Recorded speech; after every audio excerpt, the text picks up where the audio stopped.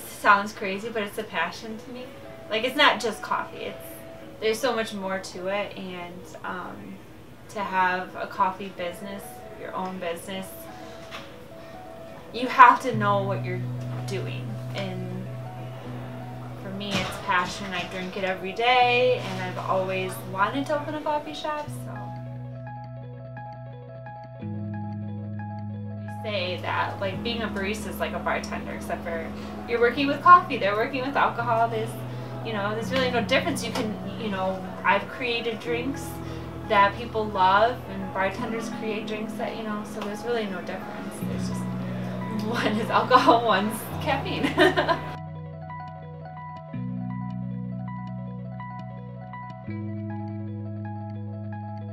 And for me it's like i still enjoy i mean you saw like i'm like nope that's not a good shot. I go i have to redo that. Like there is a science and there's you know it has to be packed the right way. The pressure in the machine has to be right. And there's so many aspects that go into just making a shot of espresso.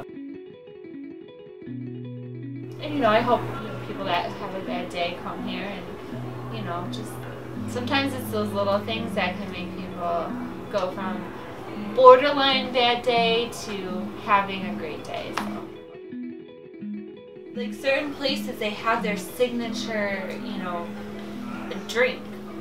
Um, in Cuba it's like it's called cafe con leche it just means coffee with milk but they they make it a specific way. And um, you know I made it I make it here for certain people that really enjoy it and that want to experiment with trying different things and then they end up loving it and so um, you know just anything and people people want to try, oh, like I'm gonna try these flavors together, and they end up loving it, and I'm like, okay, that's awesome. If you, you know, you tell me what I always say, as long as I have it, I'll make it. Can't guarantee you're gonna like it, but you know, it's like, and it just goes back to saying everyone's different. Everyone's taste buds are different. Not one person, you know, likes exactly the same thing. So that's what we have to realize in this world is everyone's different.